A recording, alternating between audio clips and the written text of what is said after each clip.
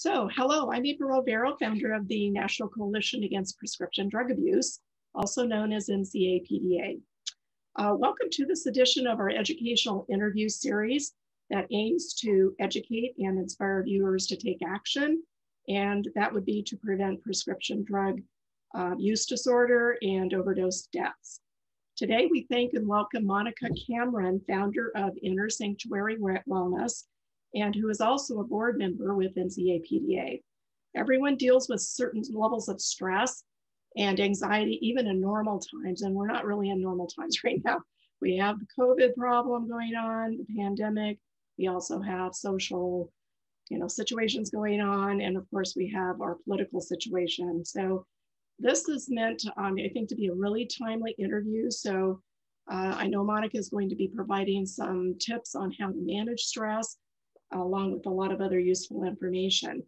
Um, I would also like to interview, or actually introduce and thank our three NCAPDA youth ambassadors that include Ankita, Charlie, and Shreya, who are going to be actually conducting the interview today.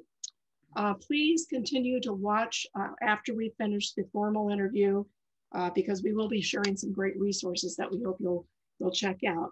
And with that, I will turn this over to Ankita. Thank you, April. And I just want to thank Monica once again for doing the lived experience, for doing the educational series interview with us. Um, and based off of Inner Sanctuary, Inner Sanctuary Wellness, which you founded, we would like to know what drove you to found that. Well, first of all, thank you for having me here. It's uh, such an honor. I my journey started with working as a behavioral therapist, working with children with autism and ADHD. Uh, it was then I was introduced to Reiki, which is a form of energy healing. And I really saw the benefits of Reiki, how it benefited uh, the children along with the therapy that they were receiving. Uh, it was then that I decided to learn Reiki, uh, learn other forms of energy healing. And on the side, I was also working as a teacher, working with children with special needs. As my children got older and I quit my job um, and I saw them getting independent, I um, because Reiki and energy healing had affected me deeply, I decided to take it up professionally. I founded a company called uh, Golden Touch Reiki. And um, very soon I wanted to go back to work with these children or these families whom I saw were going through so much stress. That was the time that uh, when I went back, instead of working with those families, I was introduced to individuals with insomnia, uh, depression, chronic pain, and anxiety, and even cancer. But slowly and slowly going forward, I did go back to work with those children who were now young adults. It was then that I founded Inner Sanctuary Wellness that I realized that there was a deep need of alternative healing. And it was around that time that a family member, actually my husband, went through a medical crisis. And I totally understood the impact that mindfulness, meditation, and energy healing had. And that was the time that Inner Sanctuary Wellness really spread its wings uh, because the real intent was to offer opportunities to learn tools to attain um, deeper consciousness of the self, which I realized I had going through a medical crisis and getting the feedback from people how calmly I faced the situation and took care uh, of my life in a balanced manner. So that is how it all started. Monica, thank you so much for providing like context on your story with Inner Sanctuary Wellness. Uh, I was wondering if you could dive a little deeper into like what exact like services do you provide, and also elaborate a little bit more into like Reiki and like how it can be applied. So um, I offer meditation, mindfulness, Reiki, pranic healing, bars, emotion code. All these modalities actually help in reclaiming happiness and peace by reducing stress, managing emotions, and letting go of the negative thought patterns that we have. basically our body has the innate ability to heal itself like when you have when you fracture your arm all the doctor does is puts puts it in a cast. There's nothing really you can do about it except let it heal itself. Same way our body can do that. We just have to learn how to regulate the emotions how to regulate the energy and let go of the stagnant energy and emotions that we are holding and the best example I can share is um, how people have stress headaches. They'll go to doctors, neurologists, and everything is fine physically, yet they're having the headaches. And the doctors would finally come to the conclusion that it's because of stress. So mm-hmm. we are holding that energy in our body. These modalities help you release that, help you find ways to let go so um, at inner sanctuary wellness i also partner with different professionals other professionals who are offering other modalities. So together we can help others empower others. By um, i offer i also offered workshops corporate wellness workshops workshops for parents teens and parent ed as well. So i hope charlie that explains a little how reiki and other modalities work yeah, no, that was super helpful. And like when you talked about like the cast and everything, you know, I thought back to like the time I, I broke my arm and that like makes total sense. Yeah. Yeah, thank you for that. It sounds like Inner Sanctuary Wellness offers a lot of helpful and beneficial things.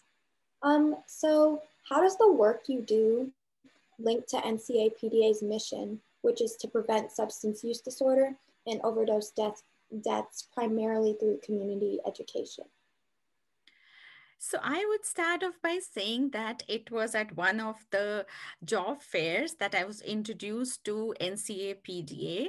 Uh, that's where I met April and the whole mission was of prevention was so inspiring. Her story itself was very inspiring for me because I was also, uh, my mission was the same to outreach people to prevent them uh, from uh, abusing drugs see life throws curveballs at you but you always have a choice. It's obviously easy to pop in a pill but there are choices. There are other things that you can do. Because um, when you take in drugs, they just interact with the neurochemistry of the brain to make you feel happy. But with mindfulness and meditation, we can do the same things. We can use the, uh, the neurotransmitters that are the chemical messengers uh, that coordinate the transmission of signals from one nerve cell to the next. And we can use those to produce happiness. And that is what my mission was too to reach out to people, to let them know and educate them and make them aware that we can, these modalities can help deal with anger, resentment, anything like uh, the feeling of isolation or unworthiness, which leads many times uh, to drug abuse. So we have a choice, we have these modalities. And that is why I joined hands with NCAPDA to reach out to more and more people. Thank you so much, Monica. And I really like how you established the connection between NCAPDA and Inner Sanctuary Wellness and diving a little bit deeper into that connection. So, adolescents nowadays are subject to a lot of stress and pressure, especially during the times of COVID 19, and as a consequence, may turn to substances for relief. So, for adolescents specifically, what strategies do you have for them that can help them relieve stress? So um, that's a wonderful question, Ankita. I will uh, answer that very truthfully. It can be a little challenging working with adolescents, with teens, because uh, when you mention mindfulness, meditation, um, sometimes they're not very open to it. And that could be because of peer pressure too. They don't want to see their peers sitting them, uh, telling, uh, telling their peers that they are going to a mindfulness class or med- or they're, they're doing meditation. Yet, um, when I meet them separately, they will tell me that, yes, you know, that class, I uh, learned a technique and it's really working for me. So I have been conducting workshops and trying to reach out to teens. And um, I think it's just important for them to have a little open mindset and to understand the scientific foundation base of meditation and mindfulness. Look at the research that goes behind it, the research that shows the increased alpha uh, wave activity of the brain, the effect it has.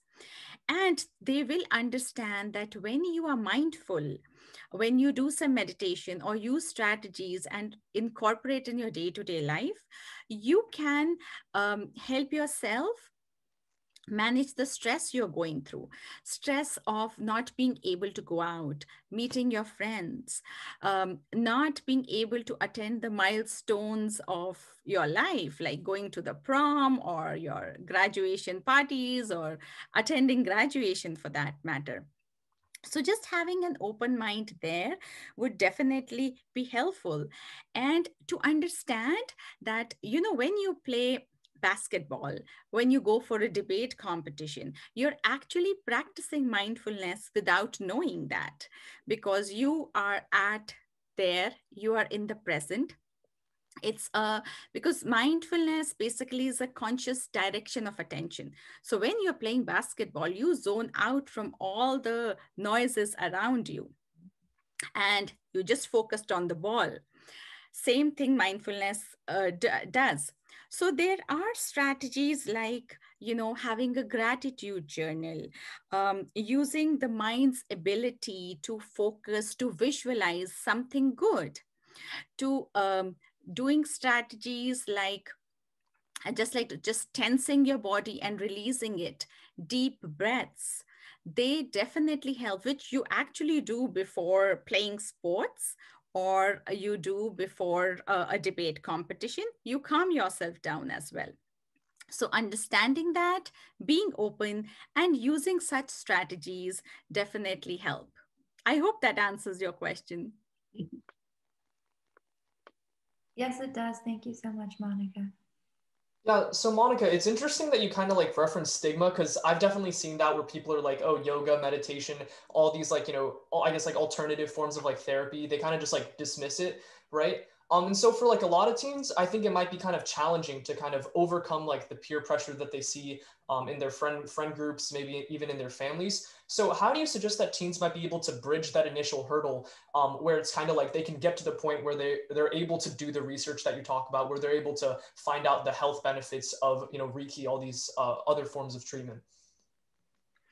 So Charlie, I think the best way to do would be that um, it's just google the internet right? just google and find out the research base see that um, there is so much research on how mindfulness meditation has helped people with uh, ptsd symptoms how it has helped patients who are in recovery once you try to do that and also another thing that one uh, teens can do is try out right now, especially with COVID, there are so many resources available. There are free mindfulness workshops. In fact, NCAPDA is also uh, offering a series of workshop try out those out and you will see that the stigma that attached behind mindfulness or meditation that you have to sit down for 20 minutes and meditate with your eyes closed and you know you can't you are not able to do that. That's not your cup of tea. They'll realize that that's not the case. This is mindfulness uh, energy healing is a part of life when you get hurt, when your friend is not feeling good, and you just pat them and say, it's going to be okay. Hey, that's part of energy healing. That's part of, part of mindfulness. So, little things like that, being conscious of the of your reflexes of the natural thing that the body does or the human beings do will really be an eye opener I do understand that uh, there's a stigma of not telling anybody. There's also a stigma of this, all this being woo woo and weird. But it's if you just look back, go back, have a talk with your grandma, and she'll tell you how it was a way of life earlier life is very different now it's very fast based so uh, the there is a huge difference but if you go back to your roots you'll find them out and like i said there are so many resources out there telling you of the little things that you incorporate in your day to day life. It's not about sitting for hours, it's a little thing. Like I mentioned, a gratitude journal, just writing down two things what you are thankful for really helps those happy neurotransmitters get going and your mood will change. I hope that helps. Yeah, absolutely. I think I might do some of my own research after this. Well, and I just want to comment that it seems to me, as with breaking down any stigma, just being willing to speak out. So our youth and you know uh, ambassadors are in a position to try this, attend those workshops, and then speak out about it. Help break down the stigma just by by telling everybody what a great experience they had. So hopefully we'll see everybody attend our upcoming sessions. Yeah, thank you, Monica. That was great advice because my family is also really into mindfulness and meditation. And at first, I was super judgmental about it. And I was like, no, I don't want to do this. That's weird. But I've actually found that it's really beneficial and it's helped me in a lot of situations. So I think that was great advice. I, I can totally understand that Shreya. I have two boys of my own, two teens, and hey, they they are not going to sit down with me for 15 minutes to meditate. And when um and it was the same with my family, sir, and family and friends it was when people saw me how i reacted or rather how i responded to situations um, medical crisis in my family where my husband had a stroke. My son was writing applications to go to college uh, Inner Sanctuary Wellness was growing. There was a lot going on. And then facing a medical financial crisis at that time would really um, have anybody could have a meltdown but i did not. And it was i never had time to sit down for hours. It was the little small things that i was doing in my day to day routine like taking brain breaks taking a little uh, pause that really helped me. So that's what my mission is to tell everybody that it's it's doable. You know it's not that boring stuff. It can be fun as well yeah, I agree. It's super helpful. And I actually hope like more of my peers or just other people in general would like look towards it more. So I hope we can break down that stigma. Um, so if I'm a parent and I'm worried that my child might be using substances, how do I tackle the issue in a way that respects their boundaries but also protects their safety at the same time? Well, um, being a parent, the very first thing I would do is be very conscious of my emotions, understanding emotions, how the body reacts to emotions, because when i have to go to talk to my child who i suspect is abusing drugs i should not be just overreacting or or reacting in a way that is blaming. Is as if i am confronting them. Um, they need to have a conversation to re- deeply understand what is really going on what is the deep what is the root cause to establish clear rules, consequences for oneself and the conversation, and setting small goals. Having a conversation with my child saying, hey, just don't take drugs.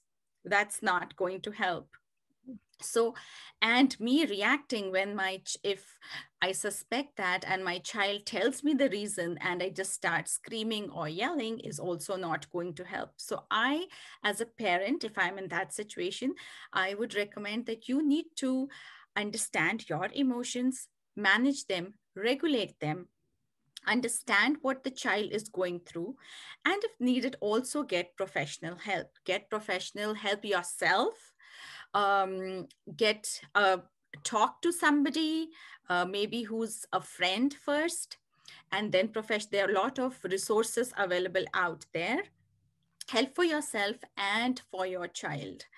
And really have that conversation, have that openness And once you start practicing um, calmness yourself, uh, you practice suppose if uh, the child if you find out that the child is taking drugs because of anxiety find out ways to reduce anxiety. Practice them yourself.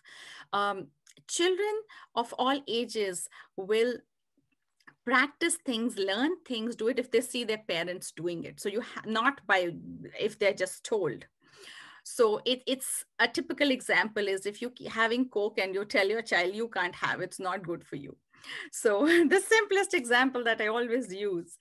So um, having that open-mindedness setting the rules educating yourself that what can be done where do you need to get resources? And ncapda is a wonderful organization to get resources as well. And then monitor monitoring what the child is going through how the child is getting the drugs what is really going on so that way you are respecting the child's boundary as well not just barging into them and confronting them but totally understanding what's happening and having that communication going. Um, and the, uh, to add to that not just when you find out but afterwards as well is actually more important. In my experience when parents suspect that their children are abusing drugs and somehow there is intervention that goes through well. It's afterwards when they are in recovery when they need more help. And um, that is an even uh, important aspect to consider to keep that open communication and practice modalities like yoga, Tai Chi, mindfulness, meditation, energy healing. Look into these modalities that do not require you to take a medicine, but still helps reduce the stress that you're going through. Yeah. Thank you, Monica. I think that can be really insightful for our parents who are watching because as the children in this situation, we always want to have a conversation and we don't like when it turns into an argument so I mm-hmm. think parents being super understanding is one of the things that even all of us children can really appreciate. And to kind of tie everything together and wrap up, I would like to ask you if someone is interested in inner sanctuary wellness, how can they contact you if they would like to use any of your services?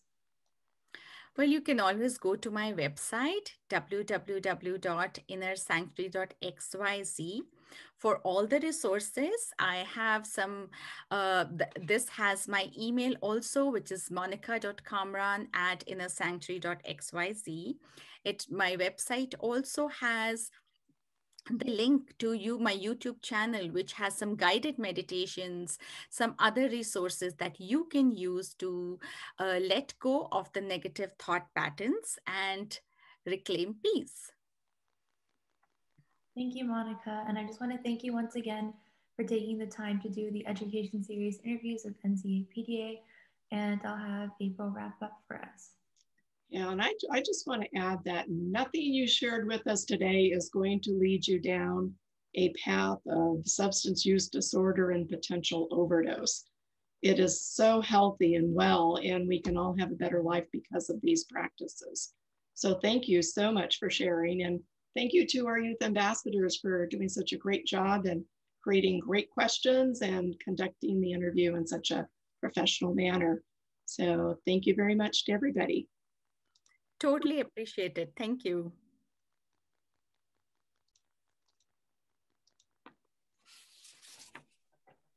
I think that went pretty well. Here are a few resources we hope you'll check out. If you or a friend or family member has concerns related to substance misuse, suicide, or mental health issues of any kind, contact the Anonymous 24 7 hotline at 800 662 HELP. Visit NIDA for Teens website where fact-based information is provided that can empower you to make informed decisions about using and misusing drugs of all times. Watch the What is Naloxone video to learn more about opioids, how they affect the brain, and how an opioid overdose can be overturned with naloxone. Thank you for watching this interview. We hope you have found it helpful. If you have any questions or comments, please reach out to NCAPDA at either 925 480 7723 or info at ncapda.org. You can also join us on Facebook, Twitter, and Instagram to learn more. Thank you.